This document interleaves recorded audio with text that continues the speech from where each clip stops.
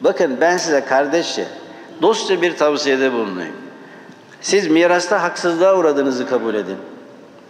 Abiniz, kız kardeşiniz, neyse yakın mirasa hak sahibi olan birisinin fazla aldığını, fazla istediğini düşünün.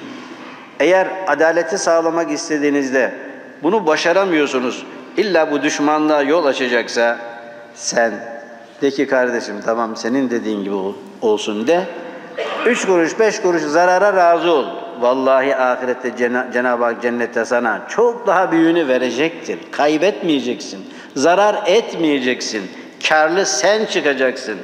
Ezen olma, ezilen ol.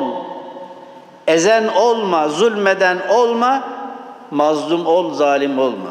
Mazlumun yardımcısı Allah'tır Celle Celaluhu. Dolayısıyla bunu kırgınlığa, dargınlığa, küskünlüğe ne yapmamak lazım? Götürmemek lazım.